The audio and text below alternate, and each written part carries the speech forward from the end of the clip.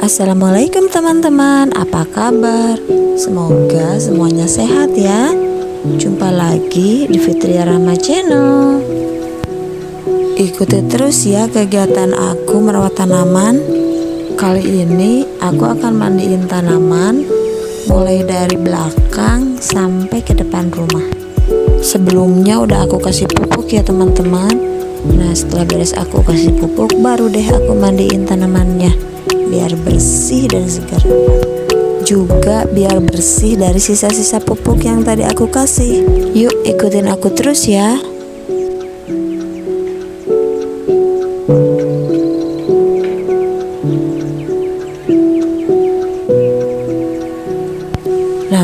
sekarang giliran mandiin tanaman jenggot musanya ya Ini harus benar-benar basah Karena hanya dari sinilah tanaman jenggot musa mendapat nutrisi. Tidak seperti tanaman lain yang kebanyakan mendapat nutrisi dari media tanam.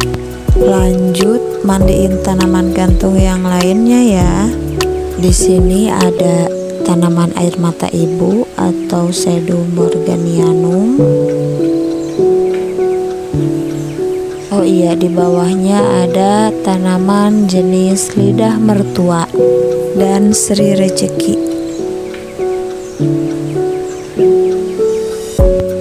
Lanjut ke tanaman gantung yang lainnya ya. Di sini aku punya jenis episia. Cuman aku baru punya tiga macam yaitu yang warna hijau, kemudian warna pink keunguan dan warna hijau pinggiran coklat. Selanjutnya ada Tredescentia atau hati ungu karena bentuknya mirip hati dan warnanya keunguan gitu. Dan juga ada creeping Charlie yang daunnya itu mirip dengan daun mint. Cuma untuk creeping Charlie ini ukuran daunnya sedikit lebih besar dan seperti ada bulu-bulu halus gitu lanjut ke tanaman depan rumah ya teman-teman. Di sini juga sama. Tadi udah dikasih pupuk cuman gak aku videoin ya. Kan udah di video sebelumnya. Jadi ini langsung aja ke mandiin tanamannya. Di sebelah sini ada kaktus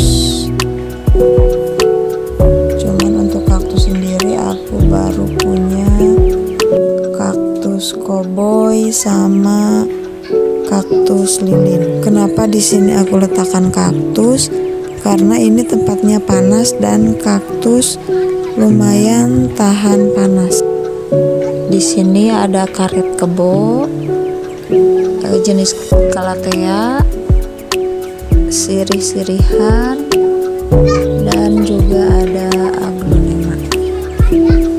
di sebelah sini ada jenis pilo dan juga gelombang cinta. Ada juga jenis keladi. Di sini ada keladi katak ya teman-teman. Ada juga jenis sensifera dan aloe vera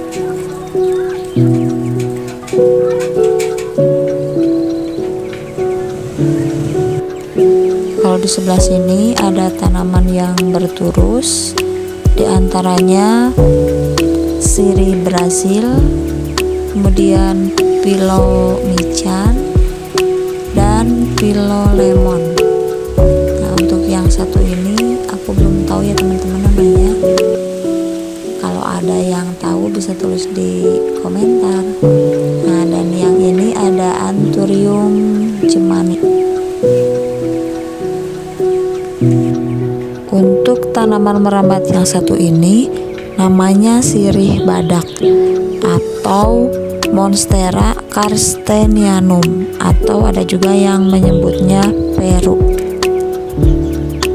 untuk jenis kalatea aku udah punya beberapa macam ya teman-teman belum aku hitung sih teman-teman ada berapa tapi aku lumayan suka sama jenis kalatea karena coraknya yang cantik-cantik.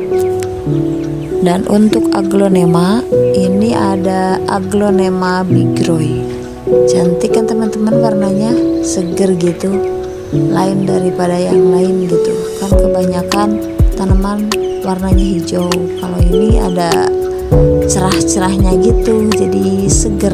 Kombinasi warna peach ya ini kalau nggak salah dan udah lumayan juga ya teman-teman. Dalam satu pot itu ada berapa rumpun ya mungkin ini udah bisa di repotting karena udah banyak juga. Tapi aku belum sempat. Nanti dah insya Allah aku videoin repottingnya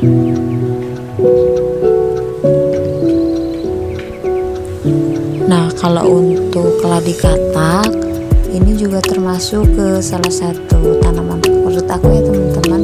Lucu sih daunnya. Hijau dan ada bercak-bercak warna hitam gitu seperti polkadot gitu. Cuman untuk bercak hitamnya ini itu tergantung sinar matahari ya teman-teman.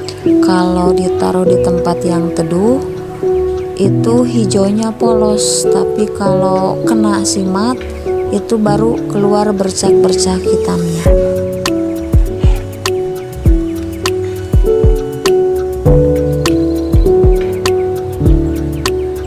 Sini aku baru punya 4 pot ya teman-teman. Coba kita pindahin dulu ya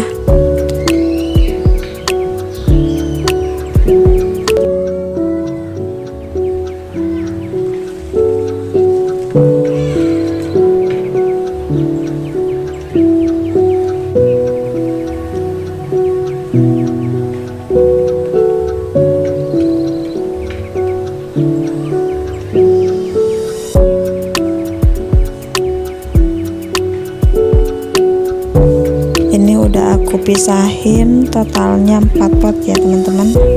Cantik kan ini juga sebagian ada yang sudah banyak jadi mungkin harus diganti pot ya. Ganti pot sama yang lebih besar atau kita uh, repotting dan bisa ditanam di pot yang kecil menjadi beberapa pot lagi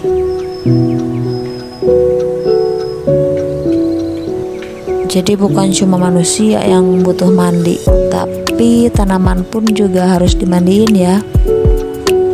Itu tadi teman-teman tanaman yang udah aku mandiin. Oh iya ada yang terlewat ya teman-teman. Ini adalah tanaman aku juga suka ini, tapi aku masih belum tahu namanya. Ini tuh tadinya dikasih sama teman kerja aku. Namanya Ibu Opi. Makasih ya Ibu. Cantik ya. Padahal ini tuh tadinya cuman satu tangkai kalau nggak salah. Oke teman-teman. Itu tadi tanaman yang selesai aku mandiin kemudian kita tunggu beberapa saat supaya air yang di dalamnya itu turun Nah, setelah itu baru kita taruh kembali ke tempat asalnya.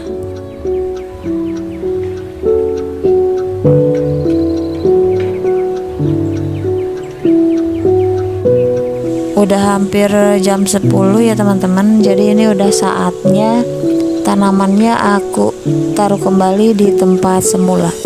Tadi kurang lebih jam 7 pagi ya aku mandiin tanamannya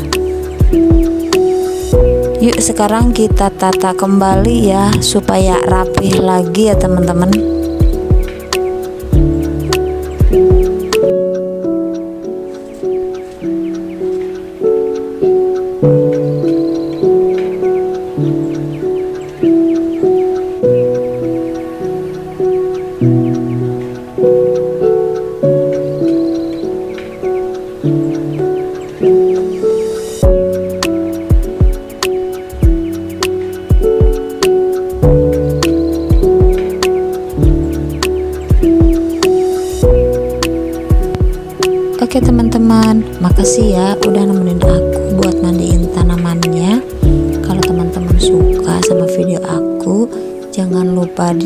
like, share, and subscribe. Juga tekan tombol notifikasinya ya, supaya tidak ketinggalan video-video aku yang lainnya. Selamat beraktivitas. Dah. Sampai jumpa di video selanjutnya. Wassalamualaikum.